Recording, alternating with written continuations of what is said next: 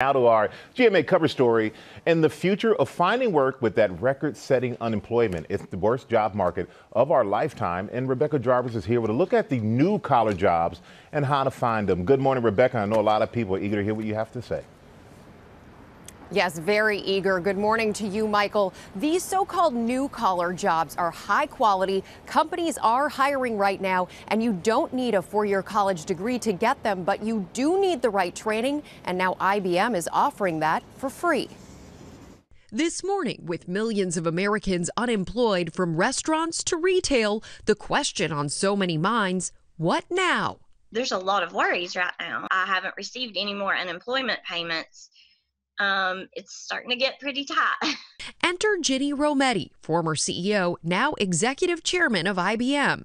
She says the future is new collar jobs like cloud computing technicians, cybersecurity analysts, and IT roles, and they don't require a four year college degree. Whether you were a barista, you were in retail, you can learn these skills and have a really good job in companies like ours.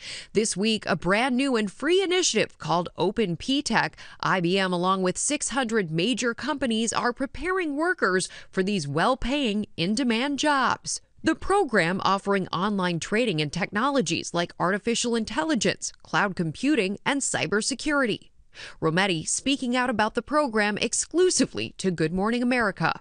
And you know something that we learned, it isn't really about just the hard skill of can I do coding or do I know a certain kind of you know way to fight cyber.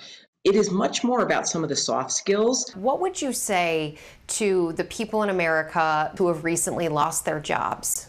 One I learned from my mother, which she said no one or no situation would ever define who she was. And the other thing I've always believed is this idea that growth and comfort they never coexist so for people who are going to be looking for new jobs, I do get it. That is going to be really uncomfortable. But there is a sense that when you're really uncomfortable is when you do grow the most and learn the most.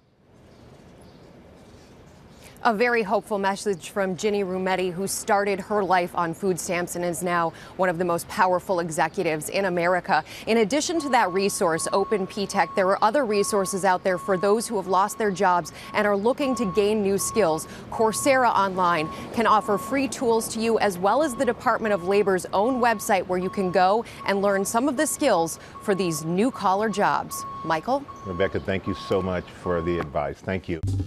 Well, hey there, GMA fans. Robin Roberts here. Thanks for checking out our YouTube channel. Lots of great stuff here. So go on, click the subscribe button right over right over here to get more of awesome videos and content from GMA every day, anytime. We thank you for watching, and we'll see you in the morning on GMA.